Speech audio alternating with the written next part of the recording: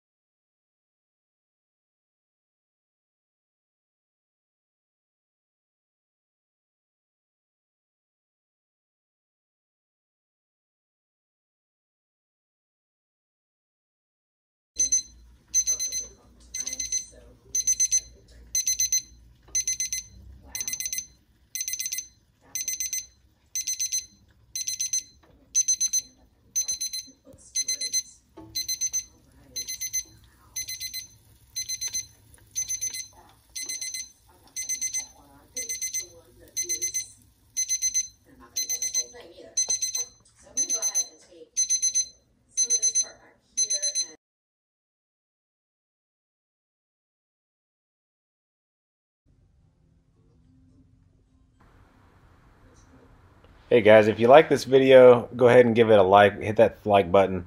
Um, stick around. We'll be back to the drag racing content before you know it. So, thanks for watching.